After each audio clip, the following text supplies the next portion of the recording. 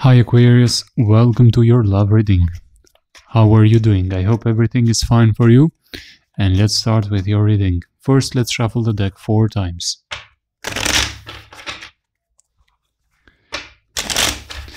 I will try to get as many details as possible, but keep in mind that this is a general reading, so this may or may not resonate with all of you. Take what resonates and leave the rest. Now, let's continue. Let's start with what are the current energies? I see disappointment here. Possibly some rejection happened in the past. Either it was a direct or indirect rejection. Or you have this feeling like there's a loss of interest and things are not moving anywhere, not going anywhere. What is affecting you in your subconscious at this moment of time? You're trying to find that balance, that inner contentment and happiness back into your life.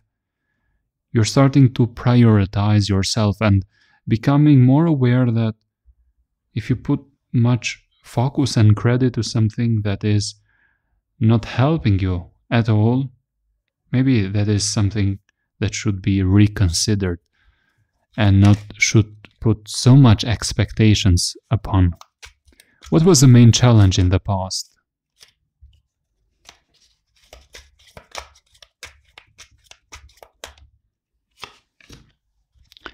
There were so many differences there between you both.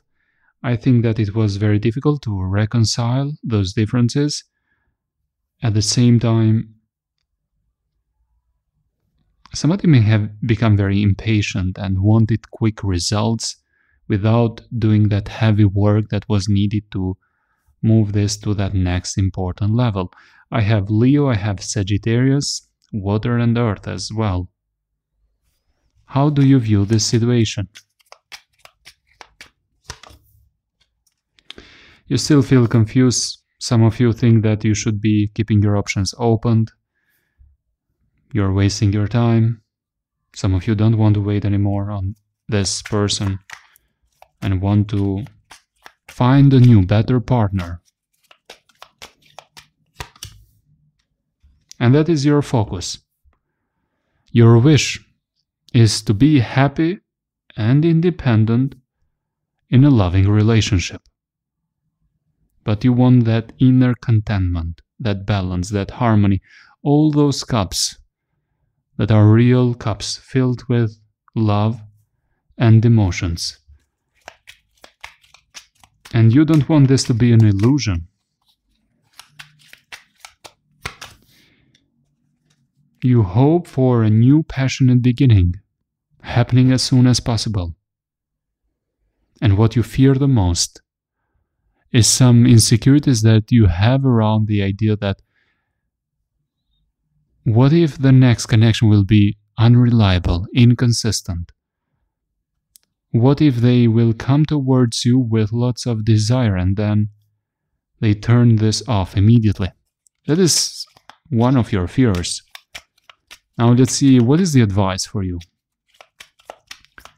What is the advice you need to hear right now, Knight of Wands? Things will be changing fast, especially if you feel stuck here. Uh, communication will be happening. There's a person watching you and they want to talk. There's lots of attraction. There's lots of desire. There's a person here thinking a lot about you. I'm not quite sure if this is a past person or a new person, but keep this in mind. Things will be changing soon. Somebody wants to talk, maybe a new or past person. Now let's see what may happen if you and your ex reconnect. Let's see what is the possible outcome. What is the energy? Uh, why the tower? Okay. Okay, okay, okay. As you can see, with the tower, Five of Pentacles, Page of Wands reverse, Eight of Swords. If you are feeling confused, nothing may change much.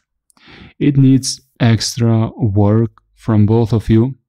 It does not uh, it, it isn't easy as a restart if it happens. There needs to be lots of work done by both of the partners. There's a lack of maturity there's a lack of love there as well. something is broken heavily by that tower moment. Unfortunately, something has been cracked deeply. And yes, there's a possibility of uh, a comeback. Somebody wants to return or is thinking a lot about going back. But to tell the truth, as always, and to give the clarity that you may need if this reading is resonating with you, I think that you will still feel confused here or may soon not find that uh, solution to this complex situation, especially if you want to repeat it and want to try again and make it better. So it's a bit complex, but I want to view more details, in fact, about this person that is on your mind about their feelings. Let's see, do they have feelings? What kind of feelings do they have? How do they view you? What are their intentions for now? What are their energies? What are your energies as well? What are the energies that are the same for both of you? So I will continue this reading with more details if you are interested in the extended video that is in the description box below this video or at the side of this video. Thank you for watching. I hope this was helpful. See you the next reading and bye for now.